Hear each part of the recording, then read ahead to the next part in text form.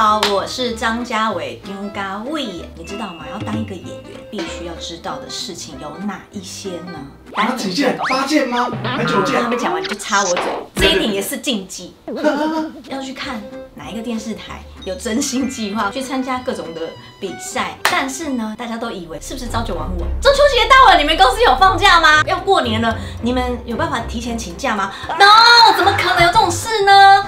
什么时候上班，你就要什么时候上班，什么时候下班就是什么时候下班，完全没有办法让你预先知道。第二件事情，身体的状况，你有时候会没有时间吃饭。我之前的经验就是演到很悲情的戏的时候，那一阵子我都会像忧郁症一样，会一直给自己压力。刚进的新人啊，有一点要习惯就是耐心，等的时间会比表演的时间还要长。也有人等了一天十二个小时都拍不到哦。我的前辈到现在都会这样子哦。拍戏的时间本来就是不确定，都必须要体谅剧组的一部分。拍戏的时间也不固定，然后你的作息就会非常的乱。第三点，当然就是大家最想知道的金钱喽。大家都以为当艺人、当演员就是赚很多，觉得我们光鲜亮丽哦，很漂亮，每天有保姆车是不是？哎，保姆车在哪里？可能连交物不的一个钱都没有哎。像我之前去上节目，当地的台北人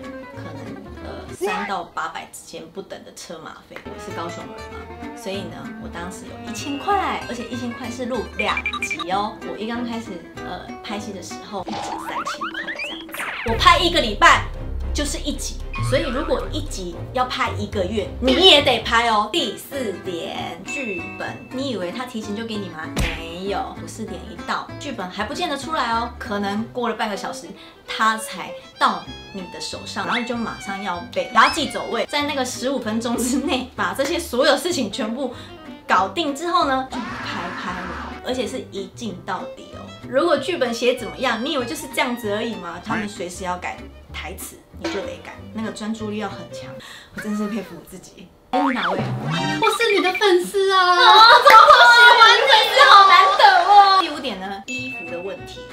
衣服是厂商无限供应吗？这怎么可能？就论八点档来说，不太有厂商会愿意借的原因，是因为他们可能一拍就是一两百集，这种东西的效益是看不太到的。每次就是要上网去看一下，买下来就是觉得说，哦，这工作可以用。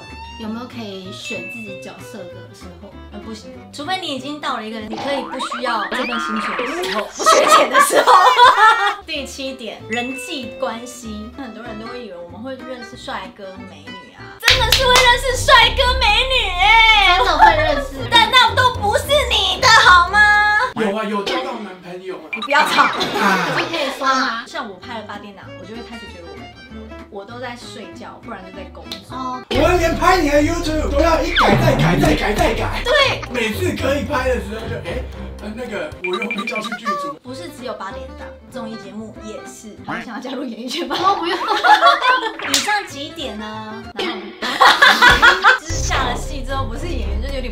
习惯自己的频道，还是这样搞。如果你们还有其他想要问的事情，这不是我说的吗？没关系啊。如果大家有什么问题，还想要问的，留言给我，按赞、订阅跟分享我的频道哦，开启小铃铛。为了让自己好好的哭，去辣自己的眼睛啊，在家里练习啊，而且是用绿油精直接点自己的眼球。我呢，也是用了很大的决心，就觉得说，老娘今天如果真的眼睛瞎了，那就是我的命了。我现在想起来都觉得很可怕。